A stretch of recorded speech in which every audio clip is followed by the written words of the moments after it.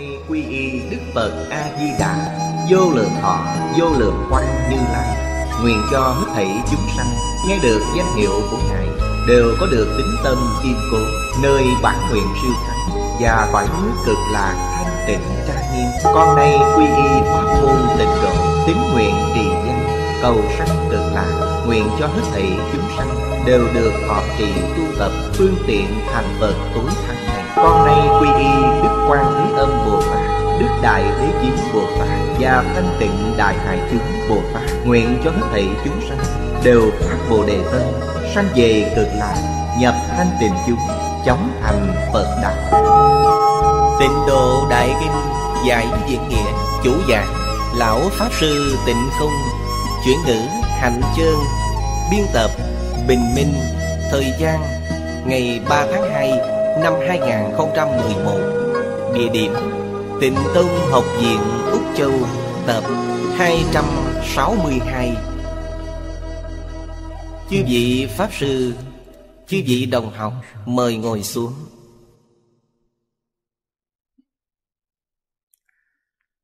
Mời quý vị xem Đại Thừa Vô Lượng Thọ Kinh Giải.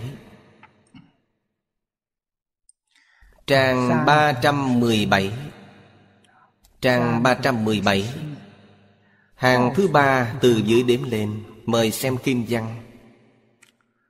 Nguyện ngã trí tuệ quan Phổ chiếu thập phương sát.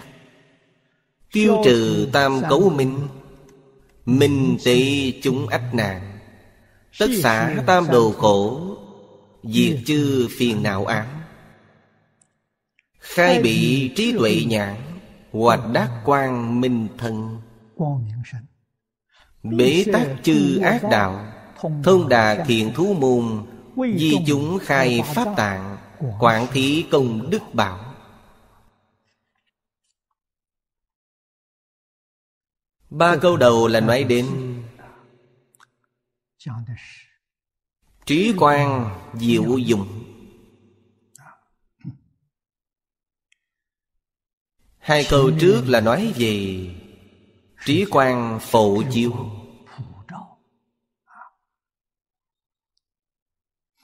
Bài kệ bên dưới nói, Trừ não Tí nạn, Khai tuệ đạt thiện.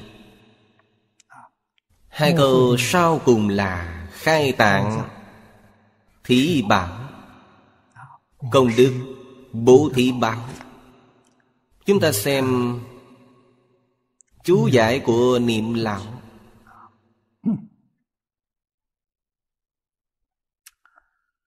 Đoạn trên.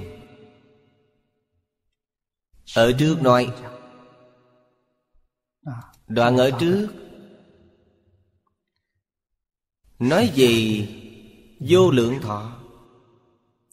Đoạn này Chúng ta nói về vô lượng quan Vô lượng thọ là thể. Vô lượng quan là tướng Là tác dụng. Từ thể tướng dụng này Hiển lộ ra. Vô biên quả đức Quả ích. Quả là giáo hóa Công đức giáo hóa Lợi ích giáo hóa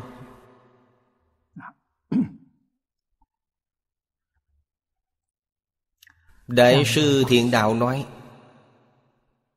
Trong định thiện nghĩa Mỗi một thệ nguyện Vì chúng sanh. Này bài kể này Chánh hiện là tâm Nguyện ánh sáng trí tuệ của ta Chiếu soi mười phương cõi.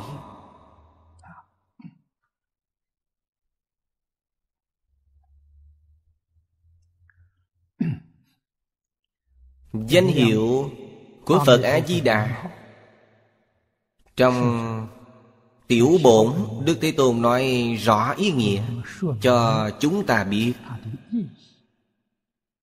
Nơi gián tác về hai loại. Vô lượng thọ, vô lượng quan Phật A-di-đà cũng gọi là vô lượng thọ Phật Cũng gọi là vô lượng quan Phật Đều là xưng Phật A-di-đà Vô lượng thọ là từ thể mà nói Từ tánh thể mà nói. Bất sanh bất diệt Cho nên dùng vô lượng thọ để biểu pháp. Quan Là từ tướng mà nói, Từ dụng mà nói. Quang minh biểu trưng cho trí tuệ. Tác dụng là dùng ở việc giáo hóa chúng sanh. Tự thọ dụng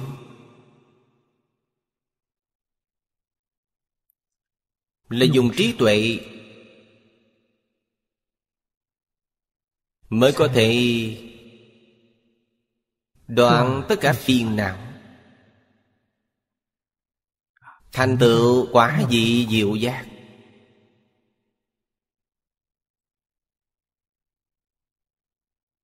Sau khi thành Phật Chỉ có một việc là Giáo hóa chúng sanh. Giáo hóa chúng sanh Có lý niệm và phương pháp Đây thuộc về Đức.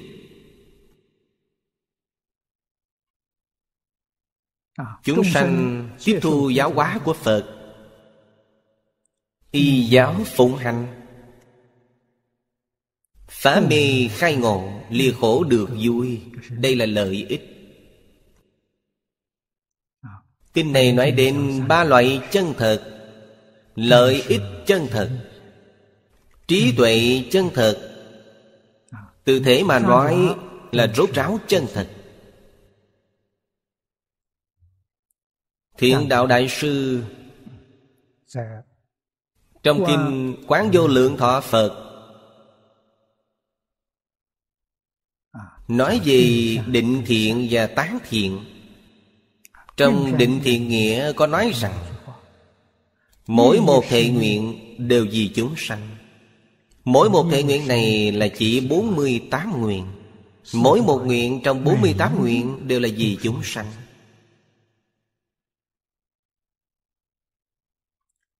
Không kèm theo bất kỳ điều kiện nào.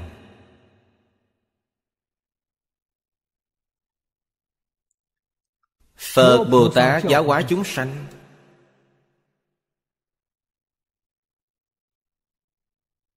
Hoàn toàn là do tánh đức Viên mãn hiển lộ ra.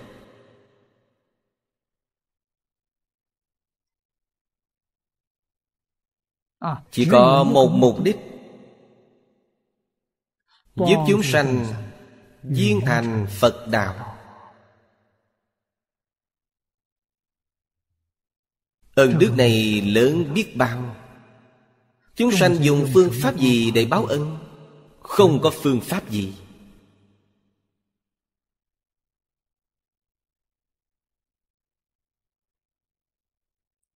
Ở trước chúng ta đã học 20 loại không trong kinh bát nhã.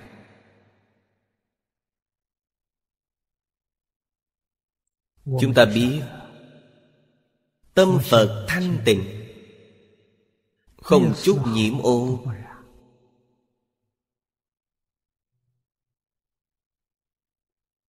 Chúng ta nói dùng vật chất để báo ơn Phật, Ngài không nhận. Dùng tinh thần để báo ơn Phật, Ngài cũng không tiếp nhận.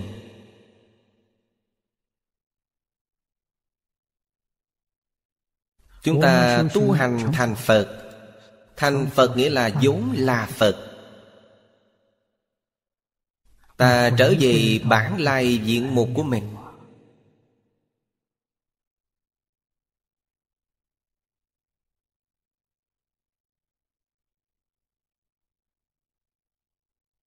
Chỉ có Phương pháp đó. Sau khi thành Phật Giống như Phật vậy. Dùng từ bi vô tận Giúp tất cả chúng sanh phá mê khai ngộ Giúp tất cả chúng sanh. Viên thành Phật đạo. Đây chính là báo ơn Phật. Ngoài phương pháp này ra Đức Phật không cần bất kỳ điều gì. Vấn đề này là gì? Là bổn phận của người đó. Cũng tức là bổn phận của chính mình. Cần phải làm Pháp vốn như thế Giống như Phật vậy.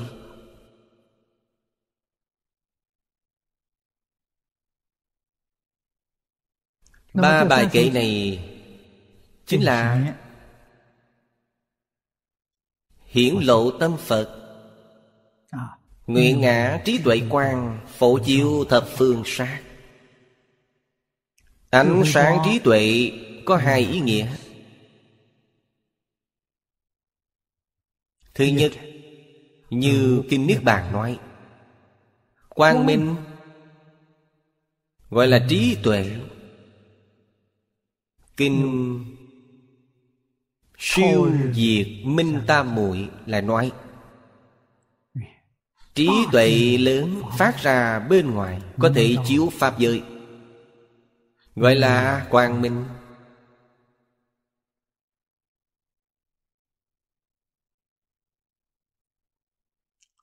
Xem tương tận Chú dạy ở trước Về nguyện quang minh tuệ biện.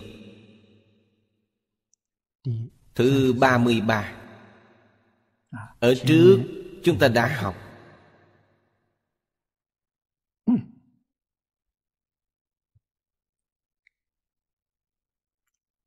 Trí tuệ phát ra bên ngoài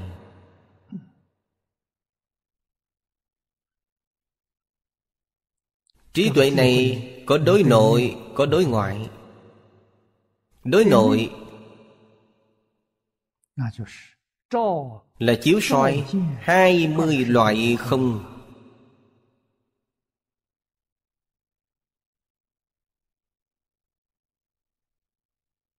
Dung hợp thành nhất thể với thật tướng các pháp.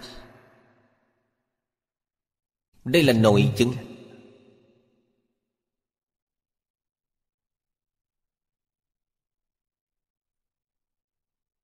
Phát ra bên ngoài.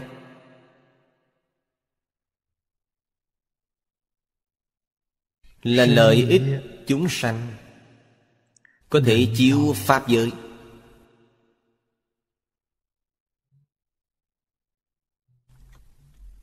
Chân tướng của pháp giới.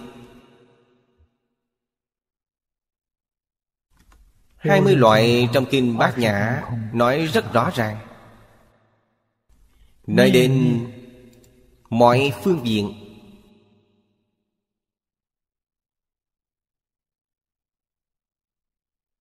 Không, chúng ta phải nhớ rằng không không phải là vô. Đại thừa nói về nghĩa không, rất là khó hiểu. Ý nghĩa rất thâm sâu.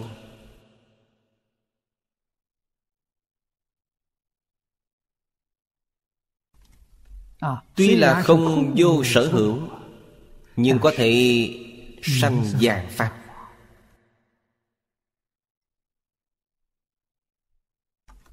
Tuy sanh dạng Pháp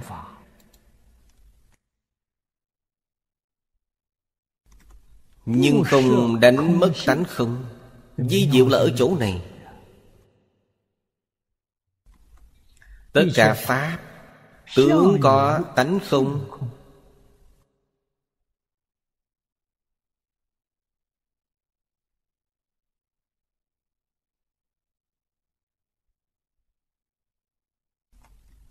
Người tu hành.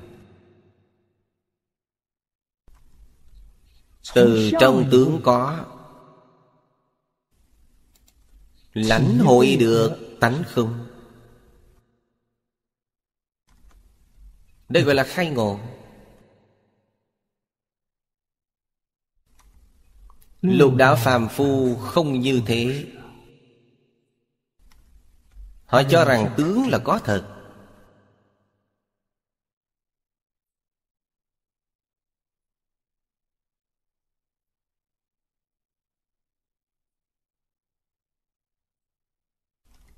Không biết. Bản chất của mọi hiện tượng Không biết.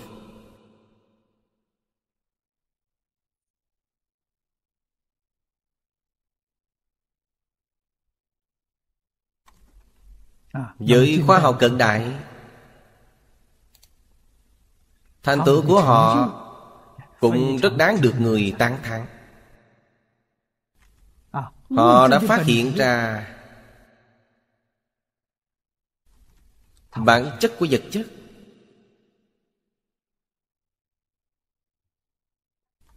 Vật chất có rất nhiều Hình tướng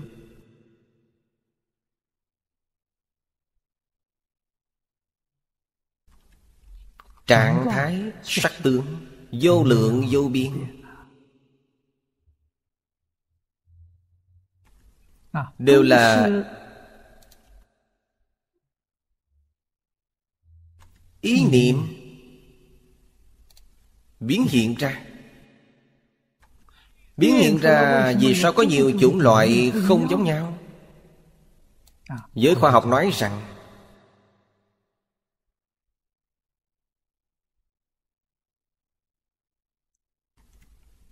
do tần suất chấn động của nó không giống nhau không tương đồng. Đại khai tần suất chậm biến thành vật thể cứng vật cứng. tần suất nhanh một chút. Biến thành vật mềm hơn. nhanh hơn chút nữa liền biến thành thể lỏng. Loại giống như nước vậy. Nếu như càng nhanh hơn nữa liền biến thành hơi nước. Tốc độ nhanh hơn nữa liền biến thành ánh sáng. Sóng quang Và sóng điện tử.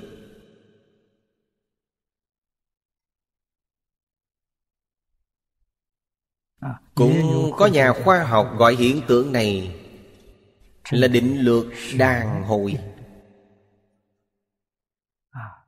Để giải thích hiện tượng giữa vũ trụ.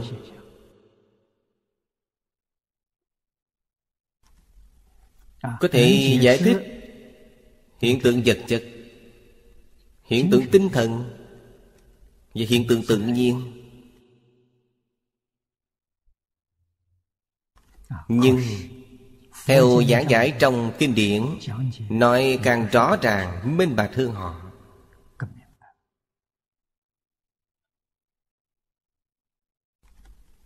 Đức Phật nói ra Căn nguyên có thể sanh dạng Pháp.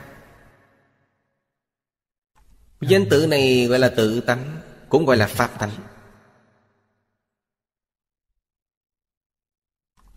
Pháp tánh không phải vật chất Không phải tinh thần Cũng không phải hiện tượng tự nhiên. Nó không phải là gì cả. Cho nên Sáu căn của chúng ta không duyên đến được nó tồn tại mọi lúc mọi nơi. Nó bất sanh bất diệt. Nó thanh tịnh không nhiễm ô. Bình đẳng không dao động.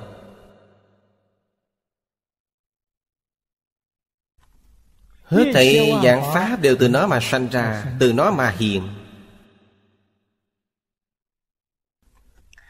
Sự biến hóa của tất cả dạng pháp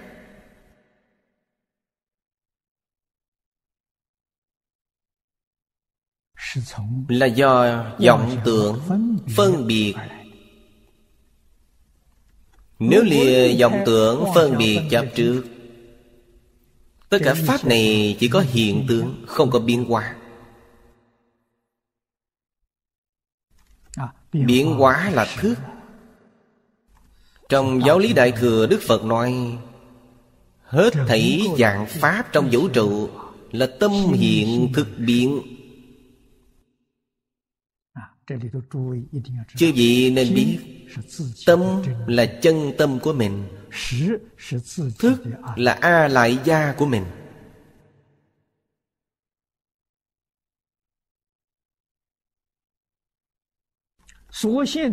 Cảnh giới hiện ra Đều là hư vọng Đều không phải chân thật.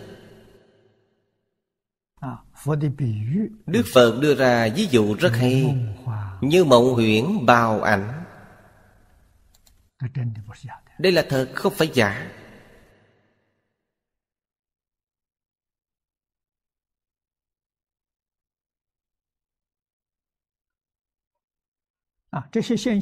Những hiện tượng này Rời xa. Ý niệm sự dao động của ý niệm thì nó không có gì cả. À, Như kinh điển thường nói tất cả pháp từ tâm tưởng sanh chính là đạo lý này. À, Những kinh điển này chúng ta phải đọc hàng ngày. Phải giảng hàng ngày. Vì sao vậy? Vì đối với chúng ta nó quá xa lạ.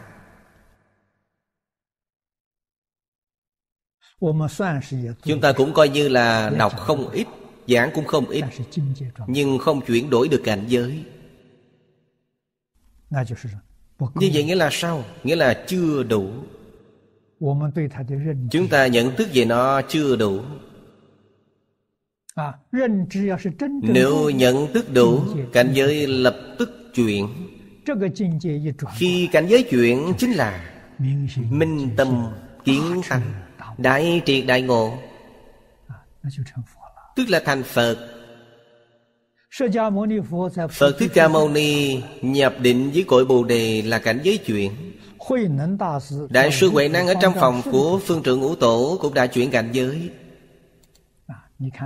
Quý vị thấy chuyển nhanh biết bao chỉ trong một niệm. Hiện nay chúng ta ngày ngày giảng kinh Ngày ngày niệm cũng không chuyển được. Ngộ của chúng ta là giải ngộ. Không phải là chứng ngộ. Giải ngộ giúp cuộc sống. hàng ngày của chúng ta Xem nhẹ tất cả mọi sự tướng.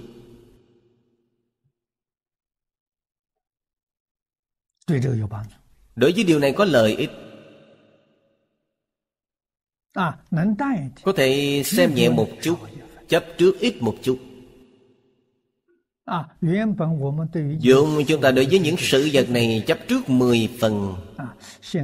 Bây giờ ta còn lại 7 phần chấp trước Giảm bớt 2-3 phần. Chưa đủ. Ngày ngày đọc, ngày ngày giảng. Ngày ngày giảm nhẹ.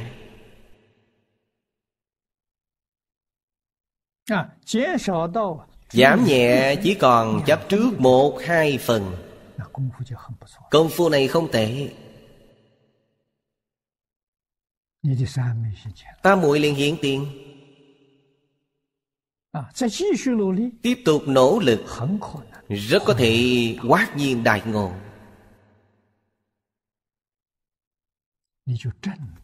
Là đã chứng ngộ cảnh giới chứng được. Dùng kinh phật để chứng minh.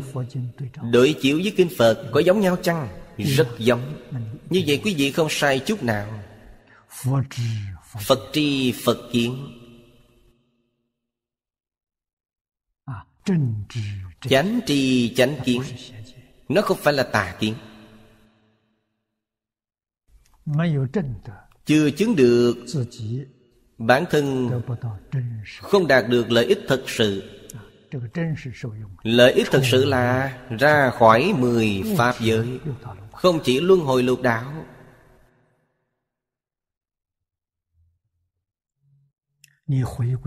Ta trở về tự tăng được đại tự tại. Khởi tác dụng không khác gì với phật. Tất cả những gì trong kinh Phật nói Đều là việc bổn phận của mình.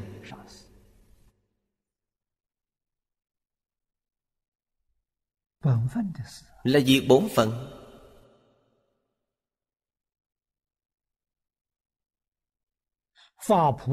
Phát tâm Bồ Đề. Giúp tất cả chúng sanh đau khổ Vẫn là việc bổn phận.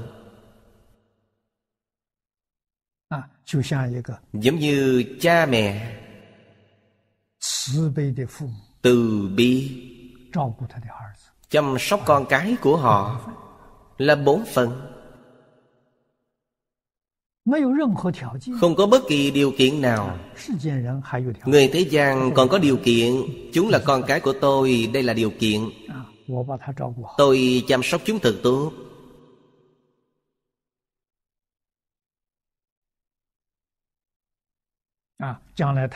tương lai chúng có thành tựu。tôi cũng được thơm lây。đây là người thế gian phật không như vậy。phật hoàn toàn không có những ý niệm này。chỉ toàn tâm toàn lực dốc hết sức mình không hề nghĩ đến lợi ích cho riêng mình。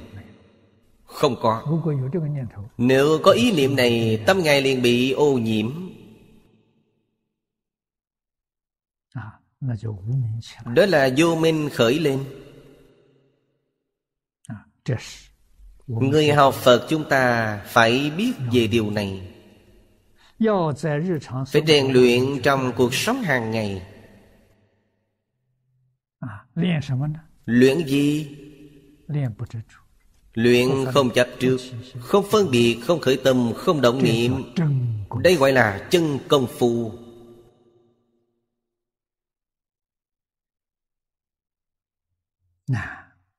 Khó không dễ chút nào. Đức Phật dạy chúng ta một phương pháp Chứ vị đồng học. Dùng phương pháp gì?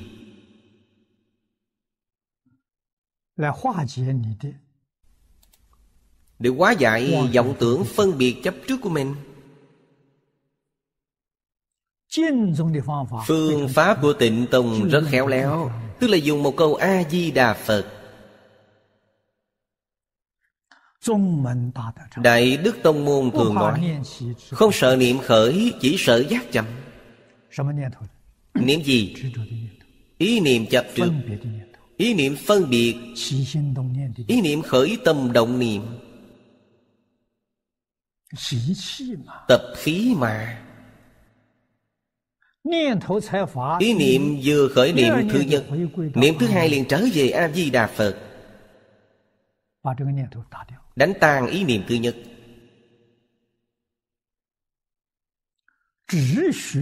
Chỉ cho phép trong tâm có một niệm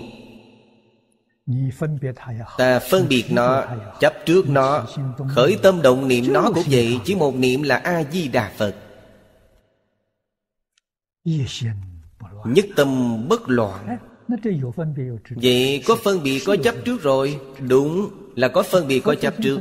trong kinh đức phật nói chấp trì danh hiệu. Chấp nghĩa là chấp trước. Chỉ được có chấp này. Cảm ứng với sự chấp trước này là gì? Quả báo ở đâu? Ở thế giới Tây Phương cực lạc. Nó không tương ứng với lục đạo. Cũng không tương ưng với thập pháp giới. Nó tương ưng là thế giới tây phương cực lạc. Đây gọi là gì? Là đới nghiệp giảng sanh. Mang theo nghiệp chấp trì danh hiệu để giảng sanh. Trong tám dạng bốn ngàn pháp môn Không có pháp môn nào có. Không có thì rất khó. Chúng ta làm sao thành tựu? Thù thắng nhất của thế giới cực là, Chính là cho phép ta mang theo nghiệp này. Không phải đem theo nghiệp khác. Mang theo nghiệp chấp trì danh hiệu. ngoài ra đều buông bỏ hết.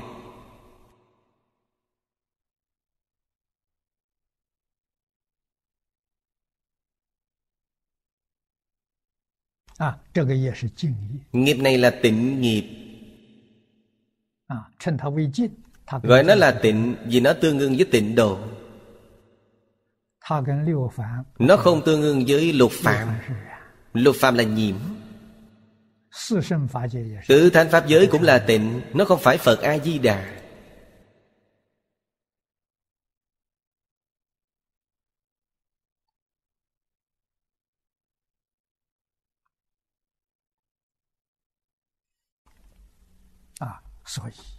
Do đó Đại trí có thể chiếu Pháp giới.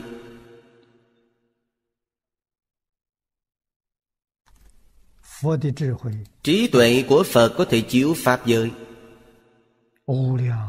Của vô lượng vô biên chư Phật. Trí tuệ Phật A-di-đà chịu Pháp giới. Đừng quên. Chúng ta có thân Pháp tánh.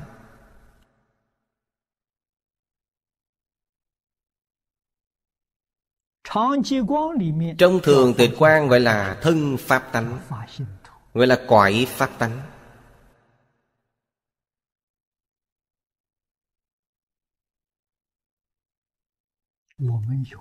Chúng ta có. Không khác gì với Phật.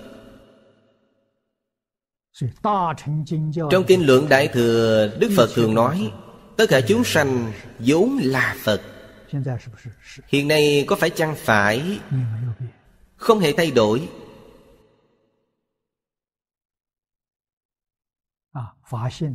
phá tánh bất sanh bất diệt. vĩnh hằng bất biến. mỗi người chúng ta đều có. vì sao hiện nay không còn? trong kinh hoa nghiêm nói Do gì vọng tưởng phân biệt chấp trước Mà không thể chứng đắc.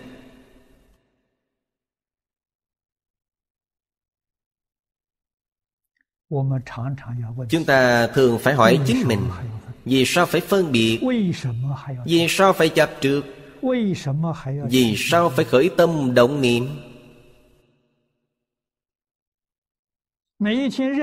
Mỗi ngày siêng năng tự hỏi chính mình rất có lợi ích, nâng cao cảnh giới của bản thân.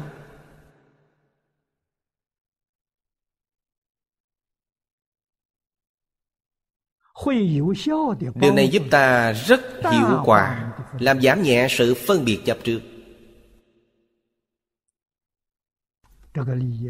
Lợi ích này là chân thật. Lợi ích này rất lớn. Học Phật không có tăng tiến Không có tiến bộ. Nguyên nhân không gì khác Chính là ở ta chưa buông bỏ.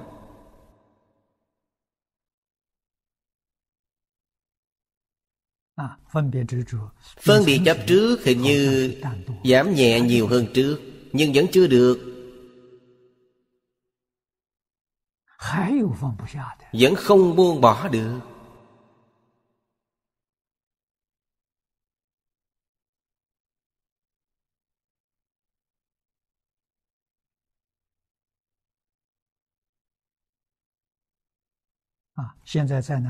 Hiện nay thiên tai dồn dập. Nếu chúng ta gặp phải Ta cảm nhận như thế nào? Nói rất hay. Đến lúc đó là một sự thử thách. Thiên tai xuất hiện chỉ có một câu A-di-đà Phật. Ngoài ra không có bất kỳ ý niệm nào. Như vậy sẽ vượt qua một cách bình an. Nếu thọ mạng đến thì Về thị giới cực lạc. Thọ mạng chưa đến Sẽ được Phật lực gia trị Quý vị biết vì sao không? Vì tâm ta và tâm Phật A-di-đà là cùng một tâm. Tâm thanh tịnh Không hề bị dướng mắt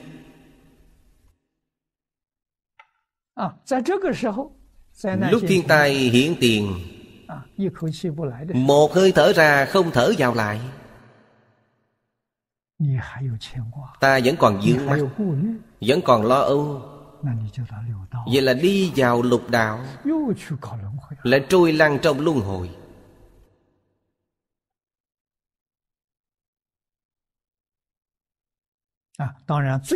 Đương nhiên khó đoạn nhất chính là tình chấp。Quả thật rất khó đoạn。Tiếp đến chính là kim ngân。Tài bảo。Những gì ta thích。Rất khó để phân ly với chúng。Chỉ cần có một niệm。Là lập tức đi vào lục đạo。nếu là niệm niệm vậy không đáng sợ ư.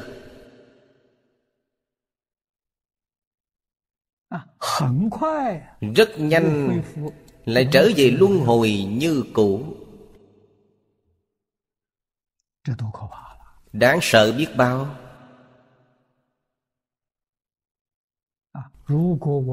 Nếu chúng ta nghĩ đến năm 2012 Tức là sang năm dự ngôn Maya Nói vào ngày 21 tháng 12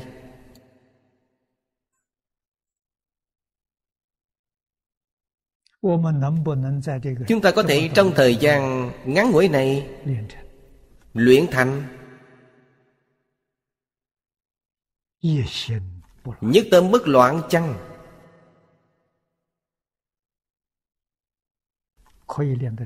Có thể luyện thành Chẳng phải không thành.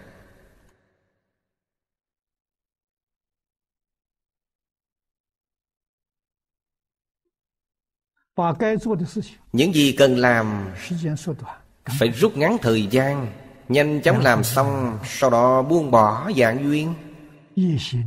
nhất tâm niệm phật như cư sĩ hoàng niệm tổ làm gương tốt cho chúng ta. sáu tháng cuối cùng ông nói với chúng tôi mỗi ngày niệm 40 dạng câu phật hiệu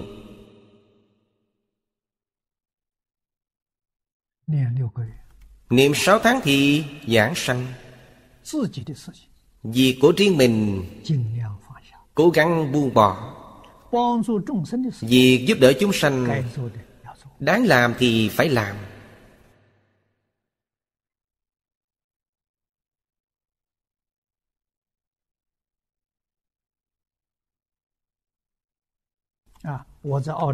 Những năm tôi ở Úc Châu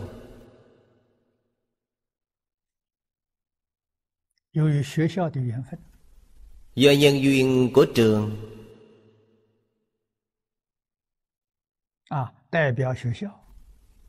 Nhiều lần đại diện cho trường.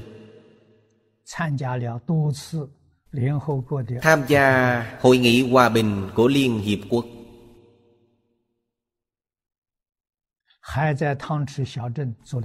Còn là một cuộc thí nghiệm ở thị trấn Thang Trì.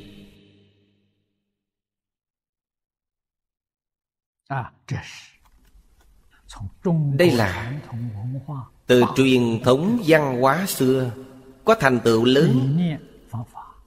Về trí tuệ lý niệm phương pháp.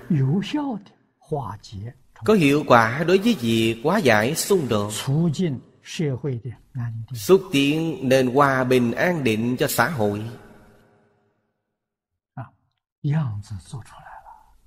đã thể hiện ra một mô phạm điển hình.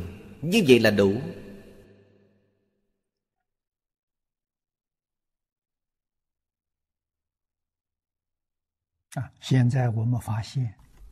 Hiện nay chúng tôi phát hiện cuốn sách của đường thái tông. Tôi tin mỗi người làm việc chính trị đều muốn xem nó.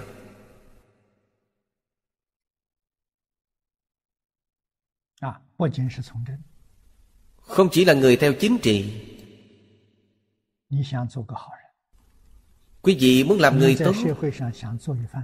Muốn có một sự nghiệp trong xã hội. Bất luận ngành nghề nào. Đều rất hiệu quả.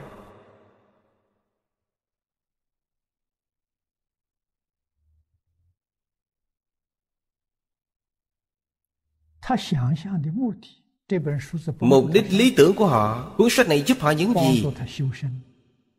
Giúp họ tu thân Tỳ gia trị quốc bình thiên hạ.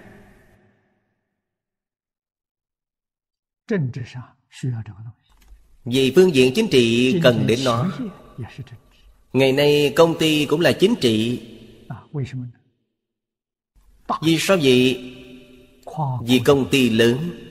Công ty đa quốc gia.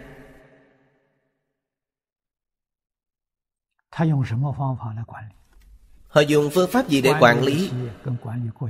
Quản lý một công ty không khác gì quản lý một quốc gia. Đều cần đến.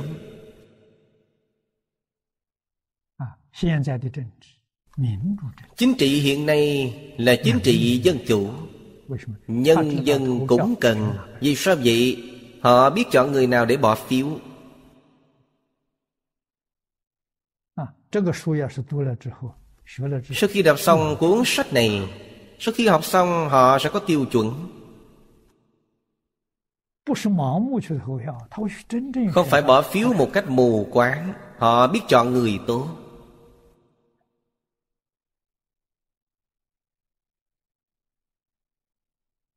啊。这部书 Bộ sách này Hiện nay chúng tôi đang in ấn.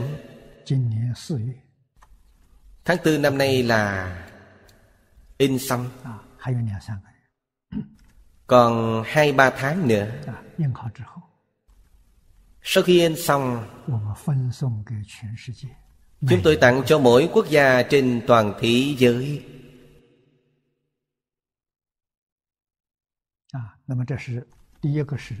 Cuốn sách này thứ nhất là tiếng Trung. Thứ hai là thể cổ văn. Tuy có được cuốn sách này Cũng không thể dùng. Cần phải thông qua phiên dịch. Phiên dịch Cần phải chú âm chú giải cho bộ sách này và dịch thành văn bạch thoại. Sau đó mới dịch sang ngoại ngữ. Những việc này tôi không quan tâm. Để hậu nhân làm. người của thời đại tiếp theo làm là việc của quý vị. Tôi đến đây là dừng. Tôi muốn đến cuối năm này hoàn thành những việc này.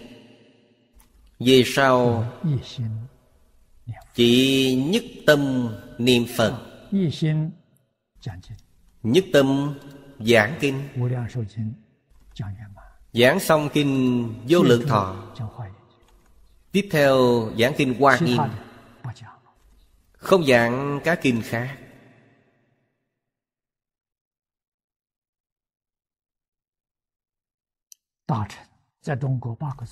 Tám tông phái của Đại Thừa Và hai tông phái của Tiểu Thừa.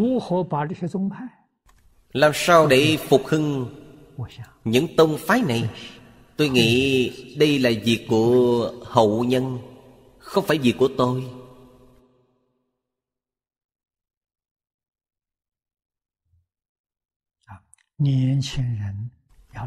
Lớp trẻ cần phải nỗ lực. Phải y giáo phụng hành. Nếu thực hành Quý vị là công thần của Phật Bồ Tát. tu Phật tuệ mạng Quang Pháp lợi sanh.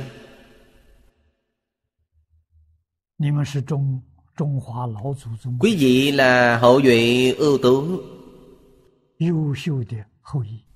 Của chư Tổ Tông Thánh Hiền. Vì giảng thánh ký tuyệt học Vì thiên hạ khai thái bình.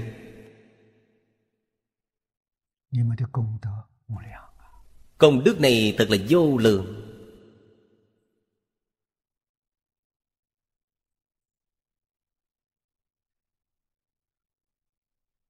À, lợi ích chân thật đối với việc học phật. Thầy phương đông mỹ nói với tôi là hưởng thụ cao nhất của đời người. Quý vị có thể hưởng thụ được.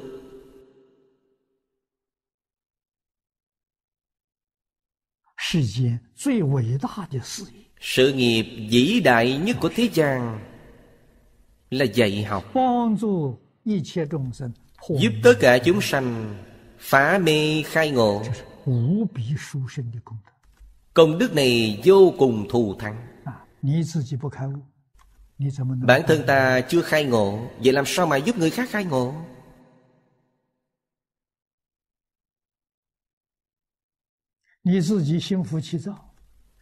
Tâm mình trôi nổi, Làm sao giúp người khác được tam muội?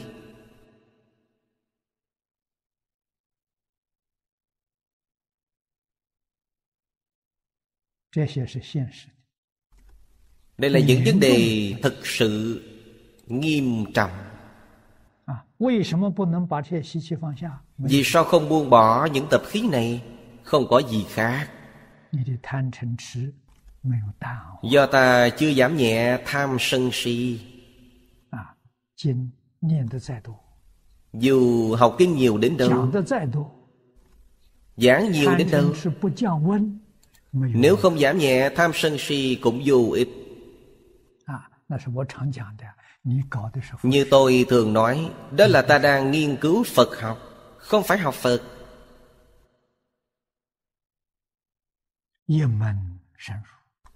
Nhất môn thâm nhập Trường thời quân tu. Trong Kinh Phật thường nói Cần tu giới định tuệ Tức gì tham sân si. Người này là thật sự học Phật. Họ có thọ dụng. Họ không phải nghiên cứu Phật học Mà là đang học Phật. Học Phật chính là cần tu giới định tuệ Tức gì tham sân si. Ngày nay nghiên cứu kinh điển. Mỗi ngày giảng kinh dạy học khuyên chính mình càng quan trọng hơn là khuyên người khác.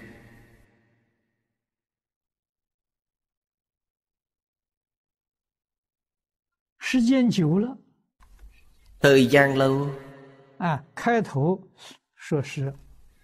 mới đầu ý niệm khuyên người khác nhiều khuyên mình ít. nhưng thời gian lâu dài bản thân khế nhập khi nào không hay. được thọ dụng chân thật.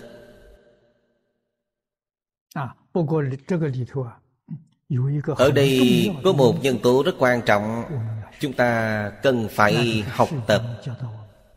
chính là thí tôn dạy chúng ta lấy giới làm thầy. Và lấy khổ làm thầy.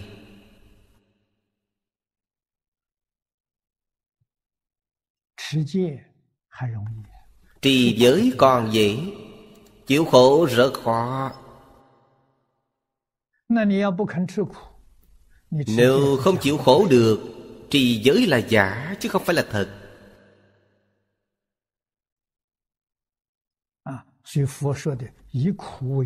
Đức Phật nói lấy khổ làm thầy Trong này có đạo lý lớn lao. Ngài thị hiện cho chúng ta thấy Suốt đời không hề thay đổi. Ngày ăn một bữa Đêm ngủ dưới gốc cây. Ba y một bát. Khi Niết Bàn Ở trong rừng cây Không phải ở trong phòng ở nơi quan du đây là dạy điều gì? Dạy lấy khổ làm thầy. Khổ là chúng ta chịu khổ. còn đức phật thì sao? đối với phật niềm vui này không gì sánh được. Có khi nào quý vị nhìn thấy tướng ngài đau khổ không?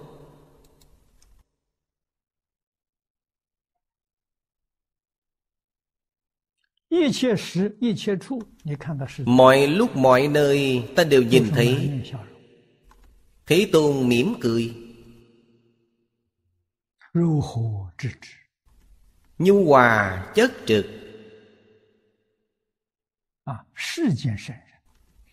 Thánh nhân thế rằng Như khổng phu tử. Quý vị xem học trò của ông khen ngợi ông. Ông biểu hiện ra bên ngoài là 温良恭俭让， Ôm lương cung kiệm nhường 学生对老师的 Là cách nhìn của học sinh đối với thầy 啊，老师温和 Thầy ôn hậu 善良、 Lương thiện 恭敬 Cung cẩn 啊，对人恭敬，对事 đối với người cung kính đối với việc cẩn thận tiết kiệm khiêm nhường.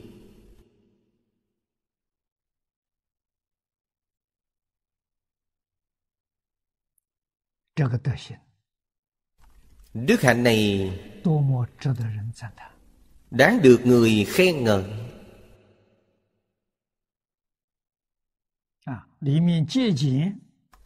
trong đó tiết kiệm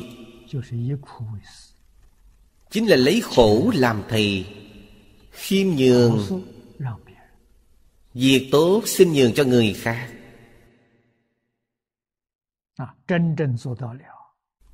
thật sự làm đối với người không tranh đối với thế gian không cầu cuộc sống này an vui biết bao. Đó mới thực sự là hưởng thụ cao nhất của đời người. Hưởng thụ cao nhất đời người, Hạnh phúc mỹ mãn. Không phải có tiền, Cũng không phải có địa vị. Không hề liên quan đến những lợi ích này.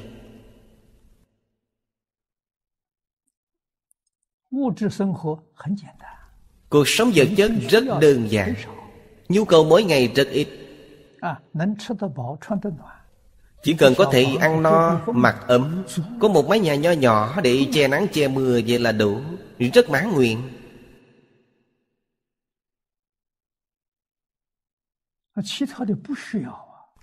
Ngoài ra không cần thiết.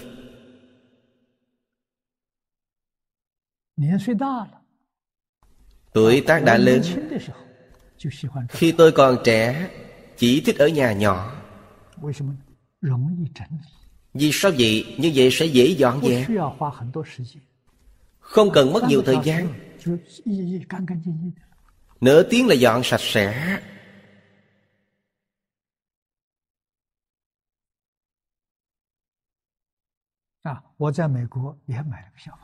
Tôi ở Mỹ cũng mua một căn nhà nhỏ.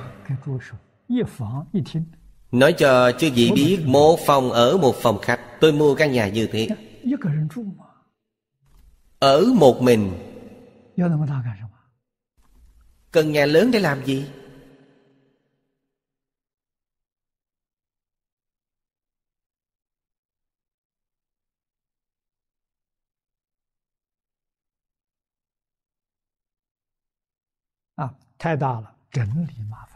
Quá lớn dọn dẹp rất phiền phức。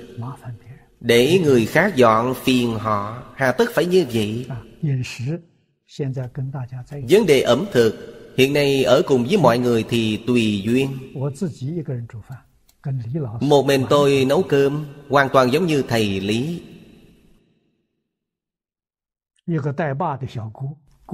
Một nồi nhỏ có quai Nồi cũng là nó, bát cũng là nó.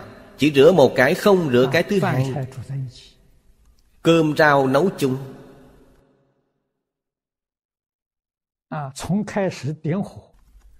Từ khi mồi lửa đến lúc ăn xong Rửa sạch Chỉ mất nửa tiếng. Ngày ăn một bữa. Quý vị nói tự tại biết bao Không hề phiền phức. Thầy Lý sống cuộc đời như thế Làm gương cho tôi noi theo. Hơn 30 tuổi ông bắt đầu học Phật. Học Phật chưa bao lâu thì ăn một bữa. Suốt đời không thay đổi. 95 tuổi mới cho hai vị đồng học đến chăm sóc. Trước 95 tuổi đều tự mình chăm sóc. Tự tại biết bao, hạnh phúc biết bao.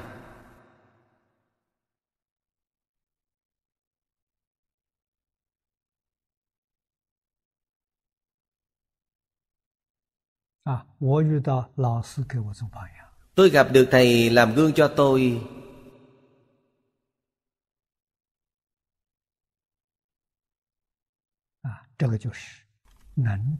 Đây nghĩa là có thể chịu khổ Thích sống như thế. Suốt đời không cầu người. À, Cúng dường nhiều đem ra làm việc thiện.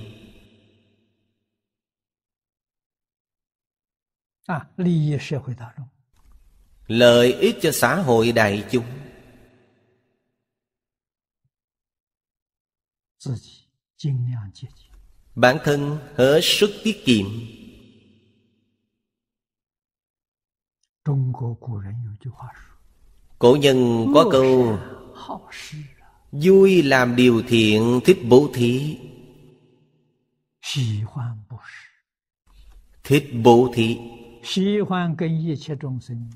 Thích kết duyên với tất cả chúng sanh.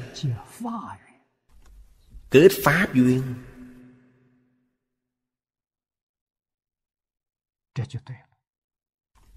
Như vậy là đúng.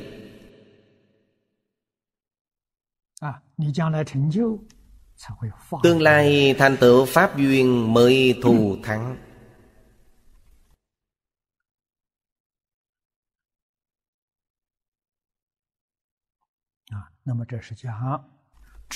Đây là nói trí tuệ chiếu pháp giới.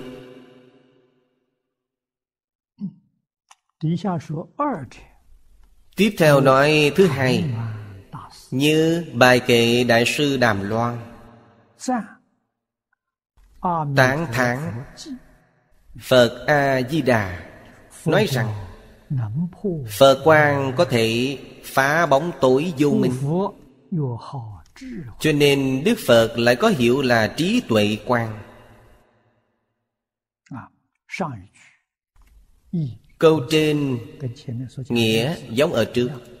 Ý nghĩa giống với ở trước nói câu dưới tức biểu trưng trí tuệ quang là một trong thánh hiệu của phật a di đà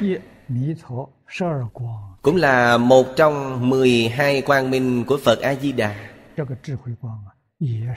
Trí tuệ quang cũng là danh hiệu của Phật A-di-đà. Vô lượng thọ, vô lượng quang, trí tuệ quang Đều là danh hiệu của Phật A-di-đà. Một trong các danh hiệu.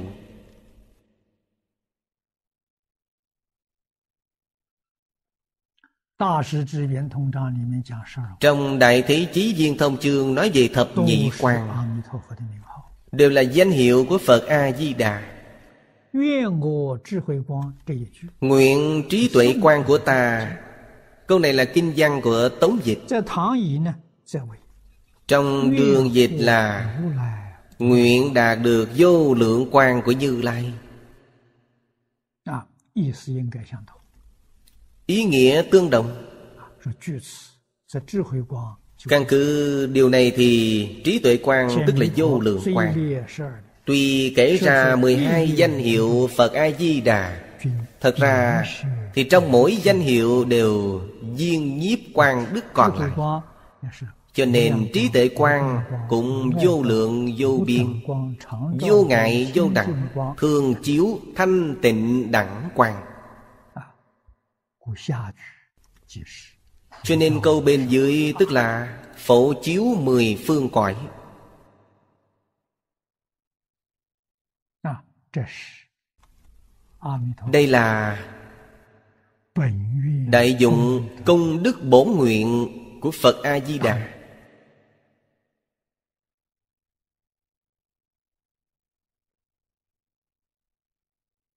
普照十方佛刹， Chiếu soi mười phương quái Phật. Địa cầu chúng ta cũng ở trong Phật quang. Tất cả chúng sanh trên địa cầu Đều nhờ Phật quang chiếu soi. Không chỉ là chư thiên mà là con người à, Súc sanh ngạ quỷ, địa ngục, những chúng sanh hữu tình này. Còn có loài chúng ta gọi là vô tình chúng sanh. Trên thực tế nó vẫn là hữu tình. À, Cây cỏ hoa lá, sơn hà đại địa. À, Cho đến hư không Đều không ngoại lệ. À, đều trong phật quan phổ chiếu.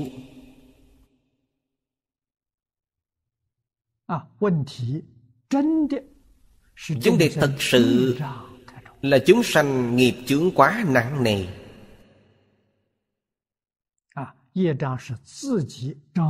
Nghiệp chướng là chính mình chướng ngại phật quan chịu đến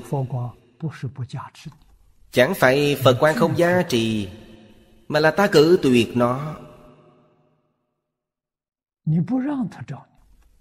Không để nó chiếu đến. Như vậy thì hết cách.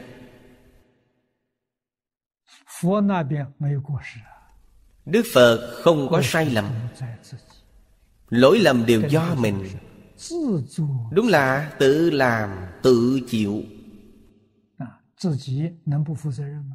Tự mình có thể chịu trách nhiệm chăng? điều gì chướng ngại là khởi tâm động niệm chướng ngại. Phân biệt chấp trước nghiêm trọng chướng ngại.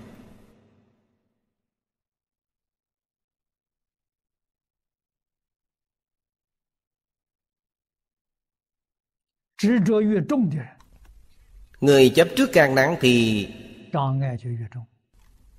chướng ngại càng nặng càng lớn.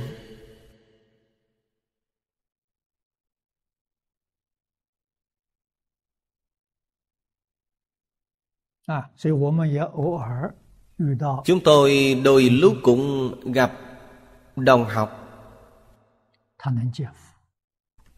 Họ có thể thấy phật.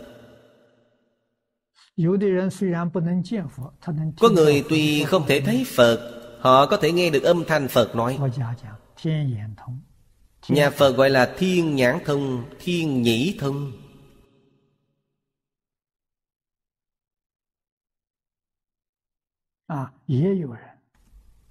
Cũng có người Tuy không nhìn thấy, không nghe thấy Họ có thể cảm nhận được. 那这一类呢 những người này đều thuộc chướng ngại hơi nhẹ. Nếu họ có chấp trước nghiêm trọng không thể có những hiện tượng này.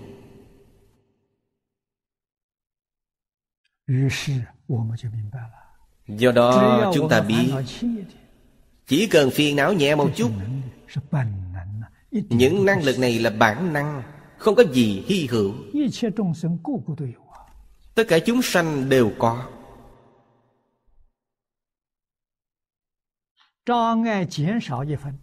Chứa ngại giảm nhẹ một phần. Năng lực này khôi phục một phần. Chứa ngại giảm nhẹ hai phần. Bản năng khôi phục hai phần. Khôi phục. Hoàn toàn. Không có gì khác với Phật A-di-đà trí tuệ quang minh trong tự tánh phật di đà. Chiếu soi mười phương cõi. Trí tuệ bát nhã vốn đầy đủ trong tự tánh chúng ta. Không có gì khác với phật.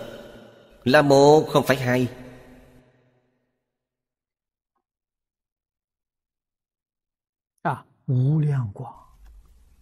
Vô lượng quang, tức ngang biến thập hư. Thập hư chính là mười phương. Thập hư là mười phương hư không. Cho nên không có cõi nào không chiếu đến.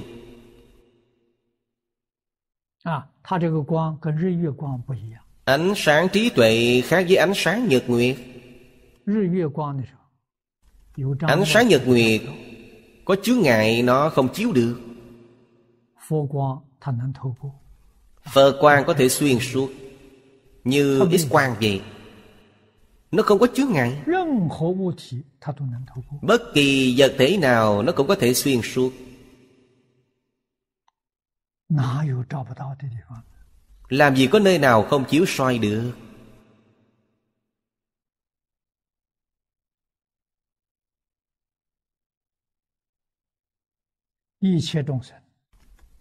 nếu tất cả chúng sanh không có chấp trước không có phân biệt sẽ được lợi ích.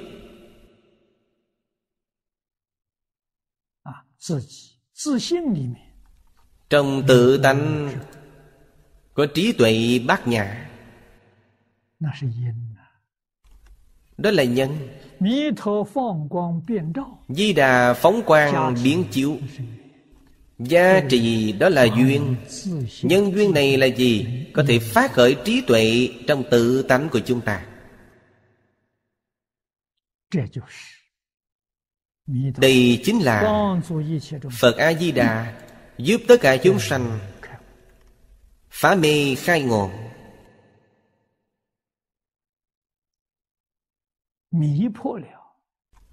Phá mê, liền lìa khổ thoát ly.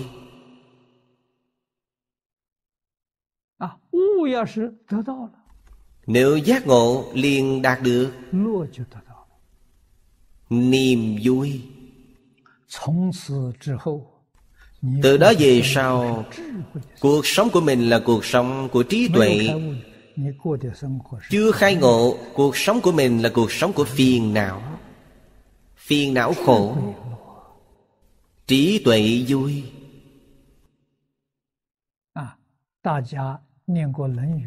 Mọi người từng học luận ngữ đều biết. Lúc nhan hồi còn sống cuộc sống vật chất thiếu thốn mọi thứ.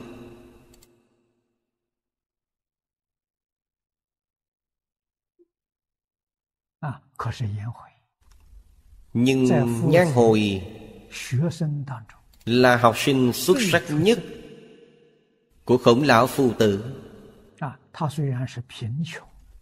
tuy ông nghèo khó nhưng luôn an vui. học nhi thời tập chi bất diệt duyệt hồ. Nhan hồi làm được điều này.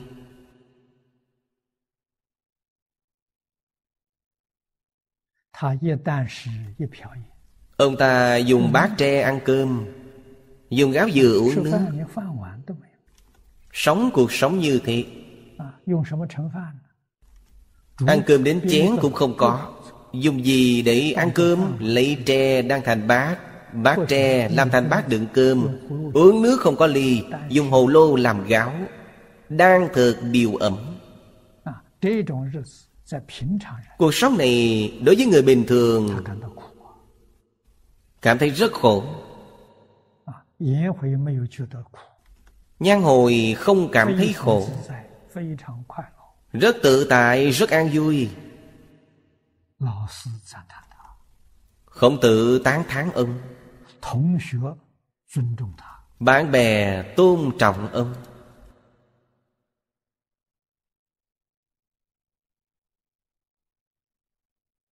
không có tài sản, không có địa vị không có của cải không có địa vị.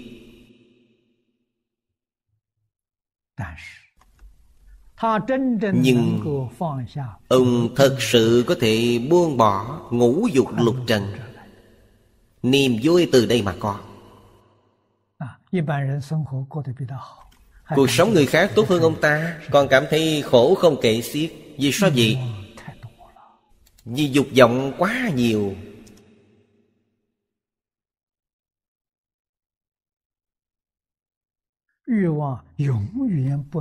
Dục vọng vĩnh viễn không thể làm cho vừa lòng người ta Cho nên người đó khổ vô cùng. À, Trong Phật Pháp nói tri túc thường là. Con người không thể không biết đủ. Được một chút ít liền biết đủ. Người này an vui nhất.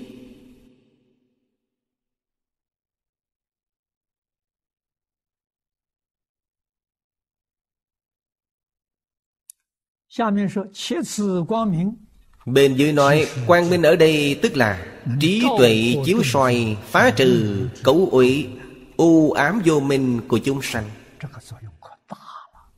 Tác dụng này rất lớn Là thật không phải giả. À, vô minh là gì? Là mê hoặc. Ngu si.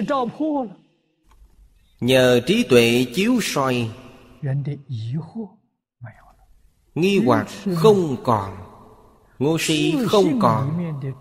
trí tuệ quang minh trong tự tánh hiển lộ ra. Họ có thể không tự tại sao? Họ có thể không an vui sao? À, Lúc này như trong kinh đại thừa thường nói pháp hỷ sung mạng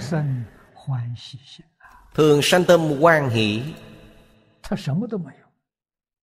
Họ không có gì cả. Không có ăn, không có mặc, nhưng an vui.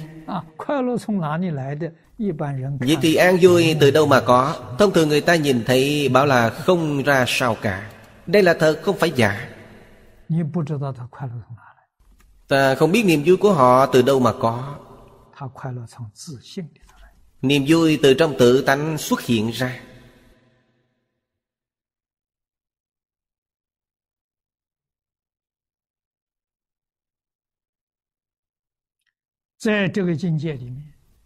trong cảnh giới này điều kiện cuộc sống vật chất có cần chăng? Không cần thiết.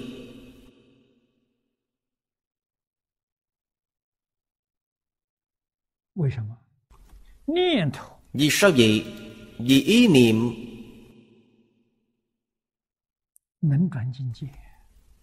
Có thể chuyển cảnh giới đầu tiên là chuyển cảnh giới của tự thân.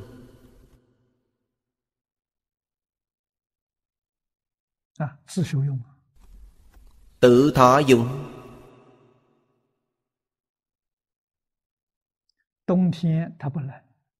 Mùa đông họ không lạnh. Mùa hạ họ không nóng. họ chỉ cần mặc một bộ y phục là đủ. Đến thay giặt áo quần cũng không cần.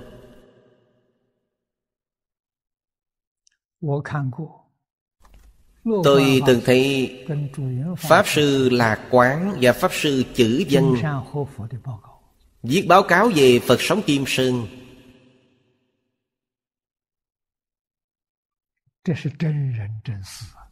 Đây là người thật diệt thật Không phải giả. Phật sống Kim Sơn đích thực Rất giống như tế công viết trong tiểu thuyết.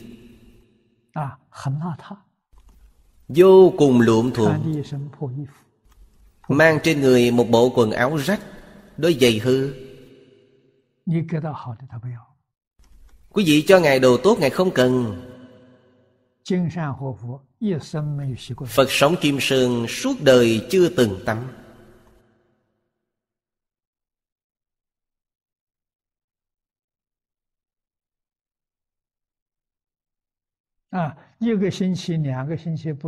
Một tuần hai tuần không ăn cơm Không sao. Cũng không đói. Một bữa cơm ăn 20 bát 30 bát cũng chẳng hề chi. À, Đều là biểu diễn cho mọi người thấy.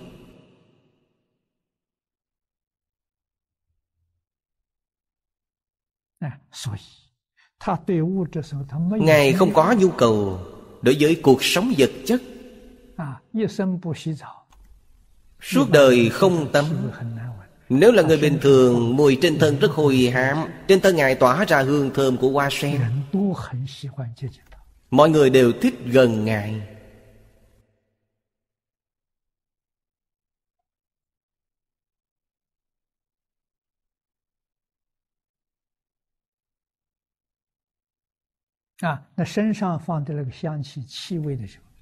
Trên thân tỏa ra mùi hương đó Ngửi có thể trị được bệnh.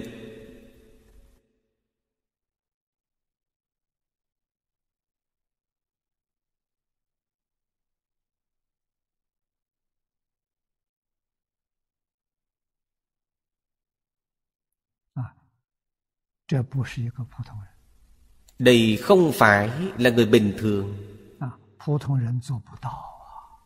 Người bình thường không làm được.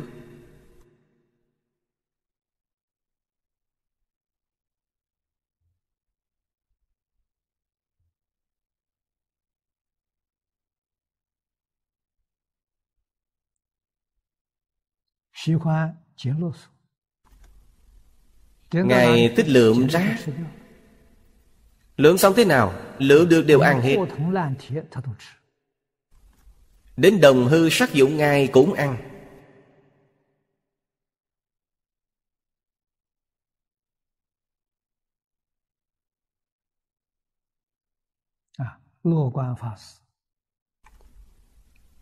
Pháp Sư Lạc Quang Từng ở với Ngài bốn tháng.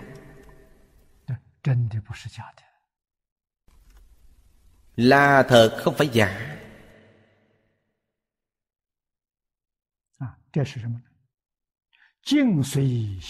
Đây nghĩa là sao? Là cảnh tùy tâm chuyển Ngài đã chứng minh cho chúng ta thấy Ý niệm của Ngài có thể chuyển được cảnh giới bên ngoài. À, Ngài biết được quá khứ vị lai. 不少有缘众生， Giúp không ít chúng sanh có duyên 金山后福。 Người ta xưng Ngài là Phật sống Kim Sơn 他是江苏 Ngài là người xuất gia 苏州的金山寺 của chùa Kim Sơn 有出家人，啊，他的法号叫 Trấn Giang Tô Châu Pháp hiệu là Diệu Thiện, Nhưng rất ít người gọi Ngài là Pháp Sư Diệu Thiện Đều gọi là Phật Sống Chim Sơn.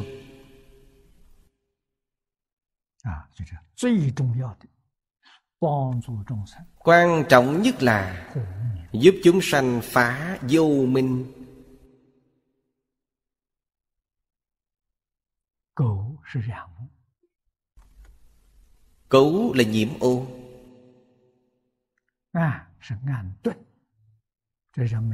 Ám là ám đồ Người này không có trí tuệ ngu si.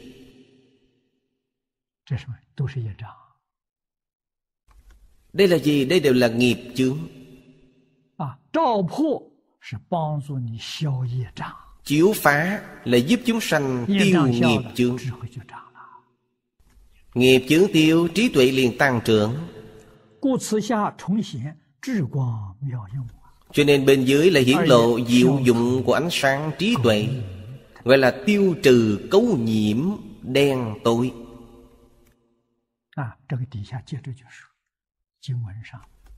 Bên dưới nói tiếp Trong kinh giang nói tiêu trừ tam cấu u minh Minh tế các ách nạn. À, tam cấu tâm cửu Chú giải bên dưới rất rõ ràng Là tên khác của tam độc tham sân si.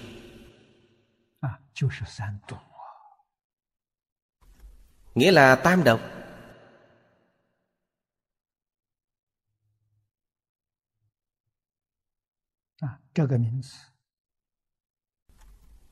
Danh từ này Chúng ta 我们要记住，要常常提醒。 chúng ta phải nhớ 这个贪的念头起 Phải thường nhắc nhở 毒啊 Ý niệm tham khởi lên Độc 病毒现前了 Độc bệnh hiển tiền 啊！遇到一点不如意的事情，嗔恚兴起来了， Gặp một chút gì không như ý Tâm sân nhuế khởi lên Độc lại phát tác 愚痴是对于事， Ngu si là đối với sự Bị mê hoặc. Không hiểu rõ chân tướng sự thật.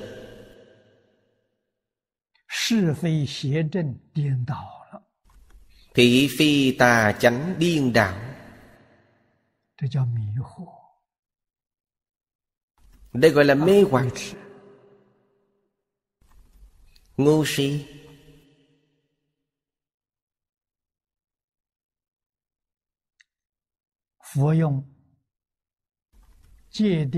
Đức Phật dùng giới định tuệ để đối trị.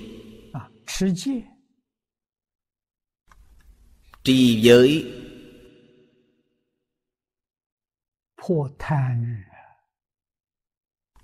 phá tham dục.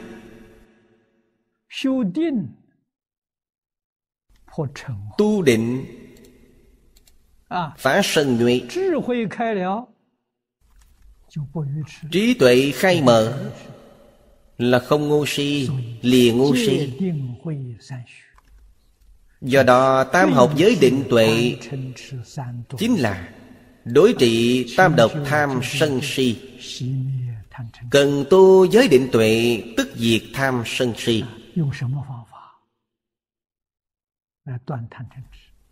Dùng phương pháp gì để đoạn tham sân si? Dùng giới định tuệ. Trong Bồ Tát lục độ,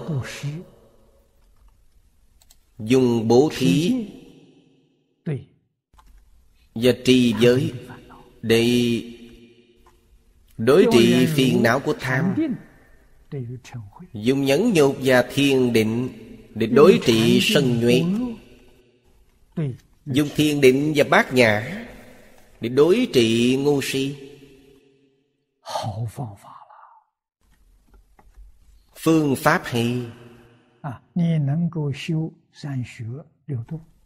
Nếu có thể tu tam học lục độ tam học lục độ là giới định tuệ.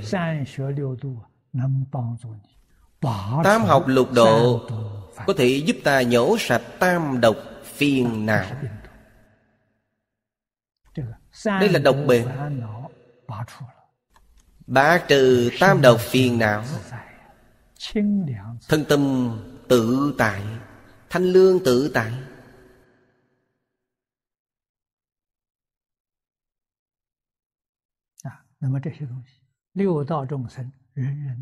Những thứ này mỗi một chúng sanh trong lục đạo đều có.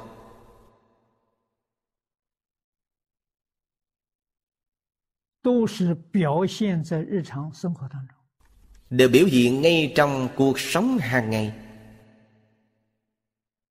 每一天用它，不觉悟， Mỗi ngày dùng nó Là không giác ngộ Không giác ngộ nghĩa là ngu si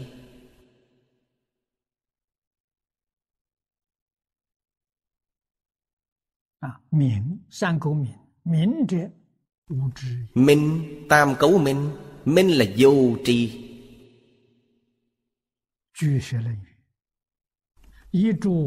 Câu xá luận nói Do các loại vô tri có thể che nghĩa chân thật. Và chứa ngại chân kiện Cho nên gọi là minh. Nghĩa chân thật là gì? Là thật tướng các pháp. Khiến ta không biết gì về chân tướng của tất cả Pháp. Ta không biết.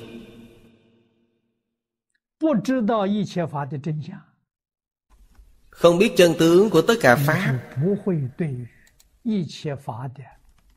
Ta sẽ không buông bỏ phân biệt chấp trước đối với tất cả Pháp. Không buông bỏ phân biệt chấp trước Tức là đang tạo nghiệp.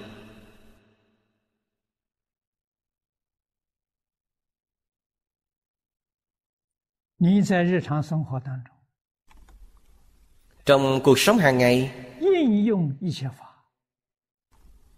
ứng dụng tất cả pháp mà không có vọng tưởng phân biệt chấp trước quý vị chính là bồ tát。tất cả pháp đó đối với ta có chướng ngại chăng không có chướng ngại。lý sự vô ngại sự sự vô ngại。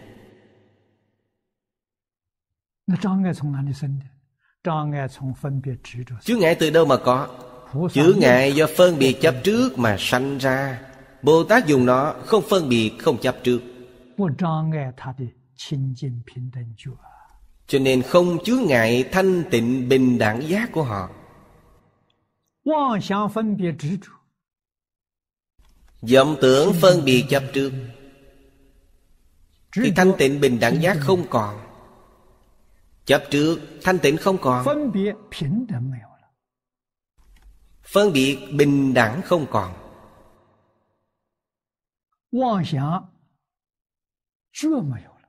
Vọng tưởng giác không còn. Phải biết thanh tịnh bình đẳng giác là chân tâm của chúng ta. là bản tánh của chúng ta. Vì vọng tưởng phân biệt chấp trước.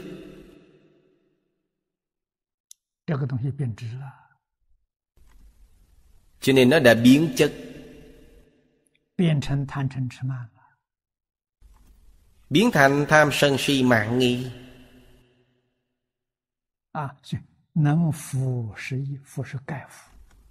Có thể che chân nghĩa. che là che đậy Chân tròn. thật tướng các pháp không còn không thấy có thể chướng ngại chân kiến 真见是真实的知见 chân kiến là tri kiến chân thật 啊，所以用名字来形容它，名是黑暗， cho nên dùng chữ minh để hình dung nó minh là đen tối 啊，我们在黑暗当中， chúng ta ở trong bóng tối. Ánh sáng nhật nguyệt đều không có, không thấy gì cả.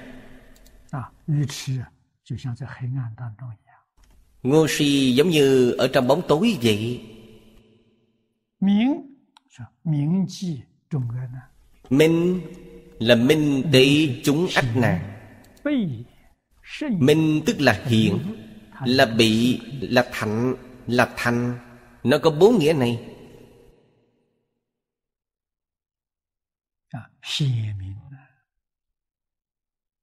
Hiển minh.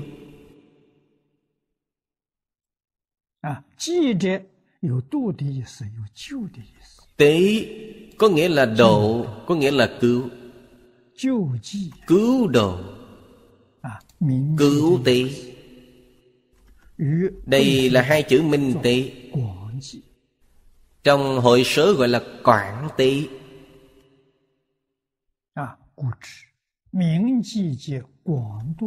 Cho nên minh tế nghĩa là rộng độ.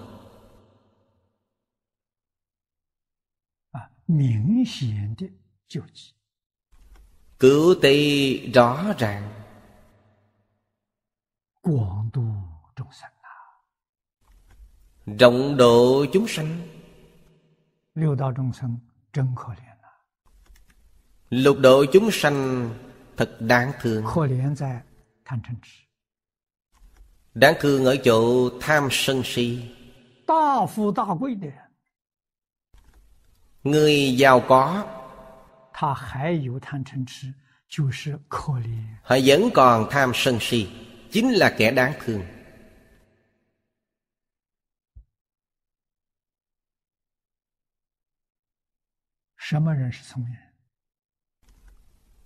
Ai là người thông minh? Ai là người có trí tuệ?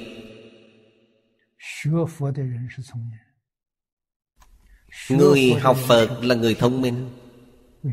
Người học Phật là người có trí tuệ. Vì sao vậy? Trong kinh điển Đức Phật dạy họ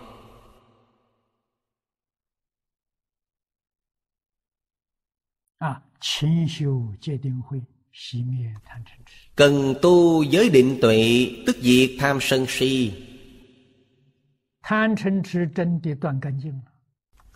Thật sự đoạn tận tham sân si Luân hồi lục đạo không còn。Vượt thoát luân hồi lục đạo。Đây mới thật sự là minh tỷ chúng ách nạn。họ đã siêu diệt. À, Thời gian đại phú đại quý. Ở cõi trời làm vua trời không có gì hy hữu.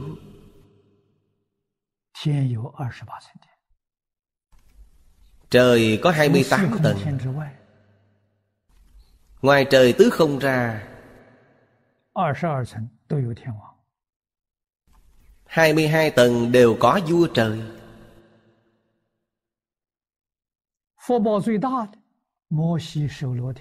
Phước báo lớn nhất Vua trời Ma Hê Thủ La. Thiên chủ của trời tứ thiện. Phước báo đó lớn biết bao. Họ hưởng hết phước. Thọ mạng đến Vẫn phải trôi lăn trong luân hồi.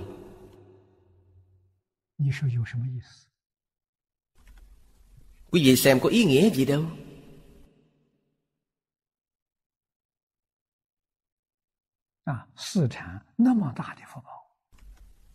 Tứ thiền phước báo lớn như vậy. Sau khi chết đi về đâu Họ đọa vào địa ngục. Vì sao đọa địa ngục? Ngài ngữ nói Trèo cao thì té nặng.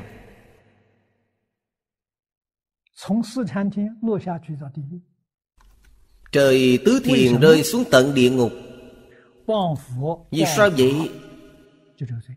Vì hủy bán Phật Hủy bán Pháp Nên phải chịu 他 tội 在 này 那个境界里头，以为自己 Họ ở trong cảnh giới đó Tưởng rằng mình đã chứng 以 được 为 bát 自 Niết 己 Bàn 就成佛了。 Cho rằng bản thân đã thành Phật 他不明白事实真相， Họ không hiểu chân tướng sự thật.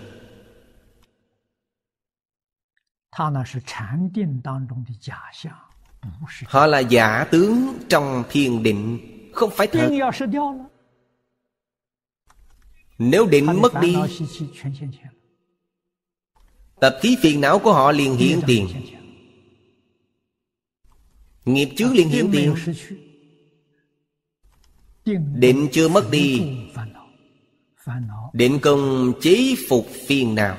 Phiền não không khởi hiện hành. Định là có hạn chế thời gian.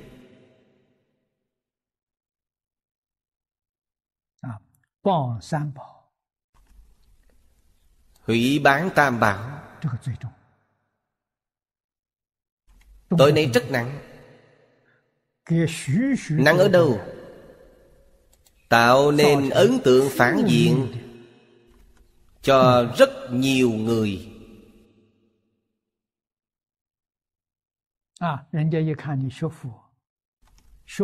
Người ta thấy quý vị học Phật. Học Phật mà bị quả báo này. Học Phật là giả không phải thật. Rất nhiều người nhìn thấy hiện tượng này đều thoái tâm. Cho rằng Phật giáo là giả. Tội này rất nặng。Quý vị gây ảnh hưởng càng nhiều người Thời gian ảnh hưởng càng dài Thì tội của quý vị càng nặng。Ta tạo nên ảnh hưởng phản diện。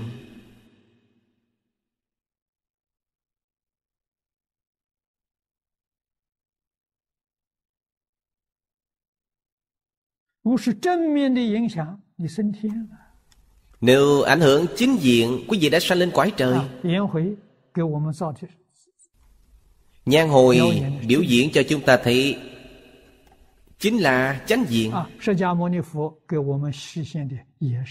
Đức Phật Thích Ca Mâu Ni thị hiện cho chúng ta thấy cũng là chính diện. Quý vị thấy Ngài khổ hạnh suốt đời. Kết quả của Ngài là gì? Là thành Phật. 49 năm giảng kinh thuyết Pháp.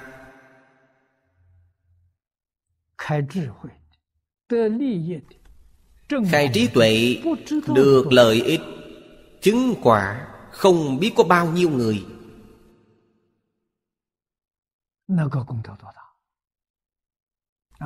Công đức này lớn biết bao. Ngày nay nói sự cống hiến của Ngài đối với xã hội lớn biết bao. Đại phước báo.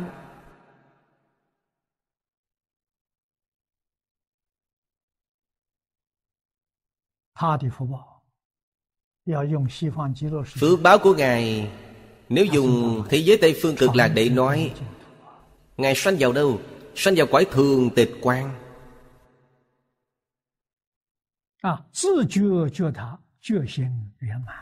Tự giác, giác tha, giác hạnh viên mãn. Đó không phải là thượng tịch quan ư. Bồ Tát trong cõi thật báo Tự hành quá tha vẫn chưa đạt đến viên mãn. Ở trong cõi thật báo Viên mãn không trú cõi thật báo Là cõi thường tịch quan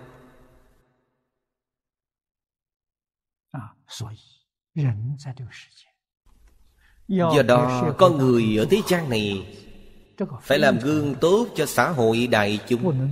Điều này vô cùng quan trọng. Không được làm gương xấu Làm gương xấu Sức ảnh hưởng đó lớn bao nhiêu Ta đều phải chịu trách nhiệm Ảnh hưởng nhiều người Ảnh hưởng thời gian dài。Phiền phức đó rất lớn nếu là gương tốt Ảnh hưởng thời gian càng lớn Thời gian càng dài Phước báo đó càng lớn.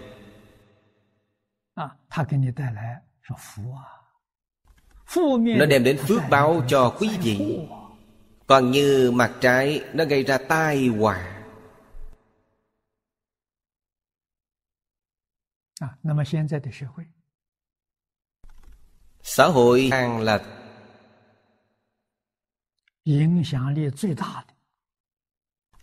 Sức ảnh hưởng lớn nhất. Trước đây 60 năm trước Thầy Phương Đông Mỹ nói với tôi TV Đây không phải là thứ hay. Sức ảnh hưởng quá lớn. Đều làm cho con người hư hỏng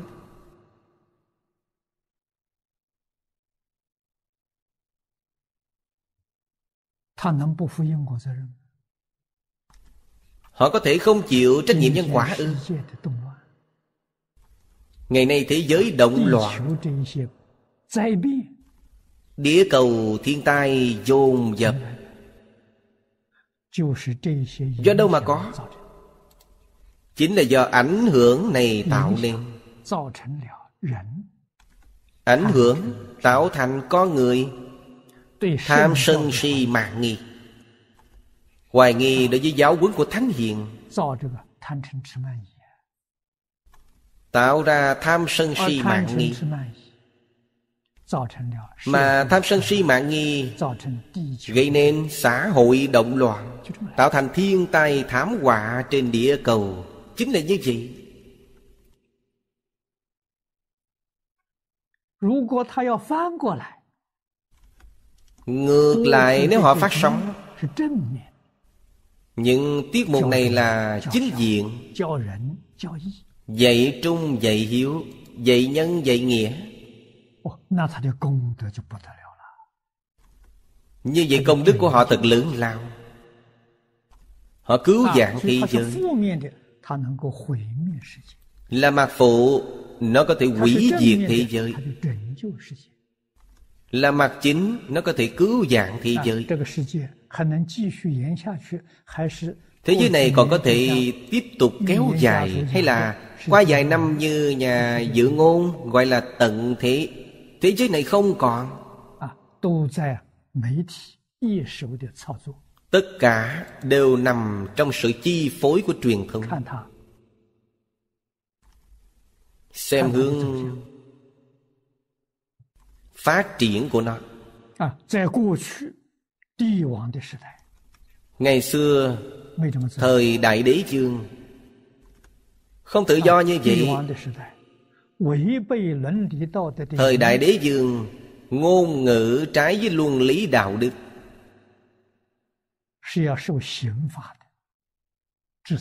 là phải bị hình phạt quản thúc 啊，违背伦理道德的着作， trước tác trái với 那 luân 是 lý 书 đạo 是 đức 列为禁书 những loại sách đó liệt vào sách cấm 啊，严重，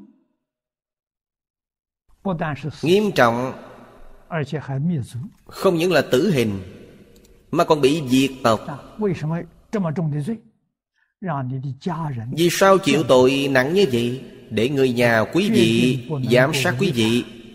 Ừ. Tuyệt đối không được làm gì trái với luân lý đạo đức.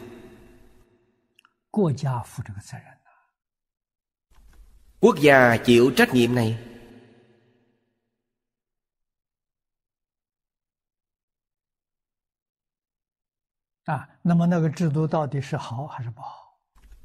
Chế độ đó rốt cuộc là tốt hay là xấu? Người bây giờ phản đối rằng không có tự do ngôn luận. Không có tự do xuất bản.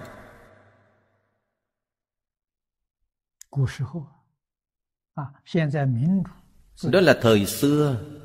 Hiện nay tự do dân chủ. Những pháp luật này đều phế bỏ. Tự do ngôn luận tự do xuất bản. Có lợi ích gì chăng? ngày nay xã hội động loạn nhân tâm không có nơi nương tựa. Không có tín ngưỡng. đây là gì? Đây là tự do ngôn luận tạo thành.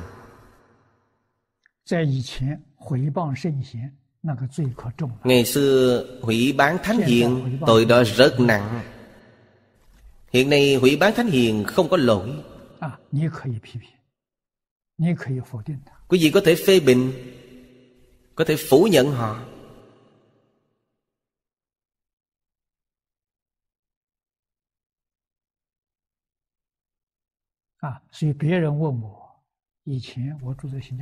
Có người hỏi tôi Trước đây tôi ở Singapore. Có một hôm Pháp Sư Diễn Bồi hỏi tôi, Ông nói Pháp Sư tỉnh không? Thầy tán thành dân chủ hay là tán thành chuyên chế? Tôi nói, tôi thích hoàng đế, Không thích dân chủ. Vì sao vậy? Vì hoàng đế có trách nhiệm. Dân chủ không chịu trách nhiệm. Nhiệm kỳ của họ rất ngắn. Hoàng đế hy vọng con cháu họ đều làm hoàng đế. Nhất định phải dạy thật tốt Người kế thừa. Nếu vậy không tốt bị người khác lật đổ. Coi như họ người chết nhà tan.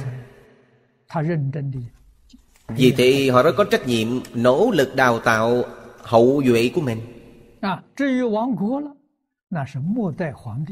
Đối với vấn đề mất nước Đó là hoàng đế cuối thời đại không tuân thủ luật pháp của tổ tông. Họ mới bị mất nước. Nếu họ thực hành theo những phương pháp tổ tông quy định sẽ không bị mất nước.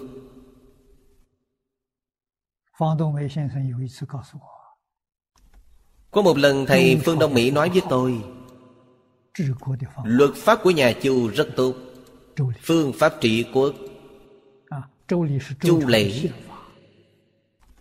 Chu lễ. là hiến pháp của thời nhà Chu. Do Chu Công soạn. Khổng tử rất khâm phục. Thiết tượng không có chuyện nhỏ nào Không đề cập đến Mỗi niệm đều nghĩ cho nhân dân. Thầy nói Đáng tiếc Những đế dương đời sau của nhà Chu không tuân thủ. Vì thế mà mất nước. Giả như con cháu đời sau của nhà Chu đều y giáo phụng hành. Tuyệt đối không làm trái. Thầy nói hiện nay vẫn là nhà Chu.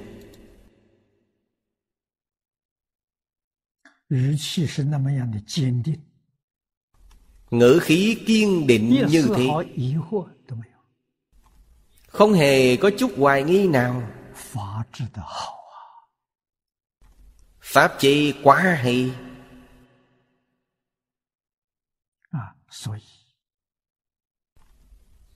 Do đó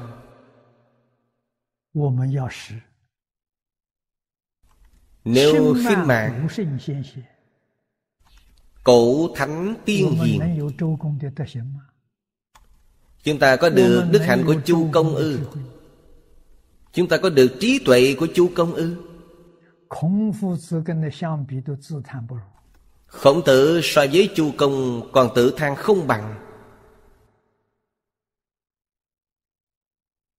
À, Lo lắng suy tư của ông. Ngôn luận của ông. Có sai lầm chăng? Chúng ta có thể phê bình ông chăng?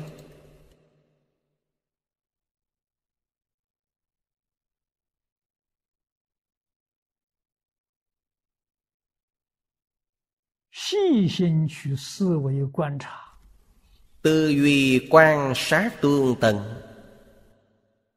你才能够明了啊。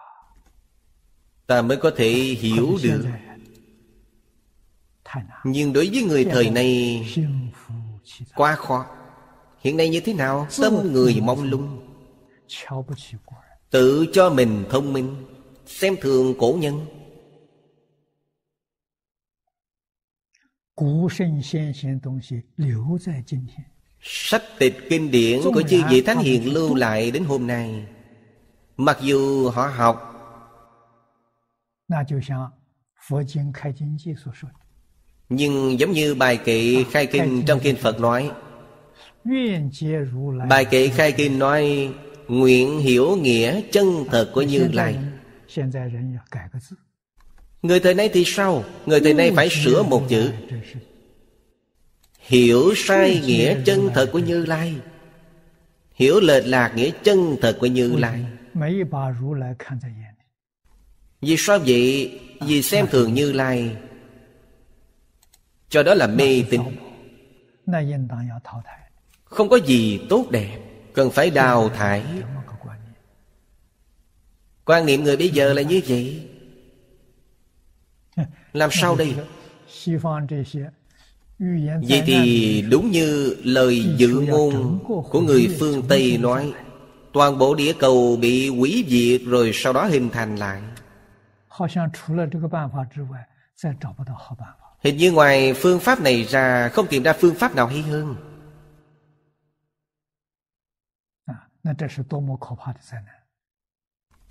Đây là một thảm họa thảm khốc. Quý vị có thể nói nó không có ư ừ. Những năm lại đây thiên tai ngày càng nhiều Ngày càng dồn dập, ngày càng nghiêm trọng Hình như là thật Chúng ta hy vọng nó không phải thật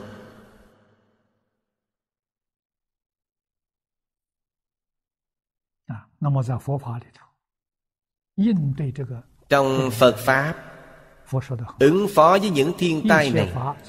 đức phật nói rất hay. tất cả pháp từ tâm tưởng sanh chỉ cần đoan chánh tâm niệm có thể làm cho thiên tai này chậm lại giảm nhẹ thậm chí là hoàn toàn không phát sinh. từ tâm tưởng sanh. nếu không tin lời phật cho lời Phật nói là mê tín Không phải thật. Không hợp với khoa học vậy thì hết cả Cũng may các nhà khoa học cận đại Cũng khẳng định những gì Phật nói trong kinh.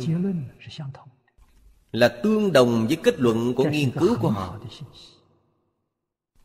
Đây là một tín hiệu tốt. Khiến những gì Phật nói trong kinh luận Được giới khoa học cận đại chứng minh.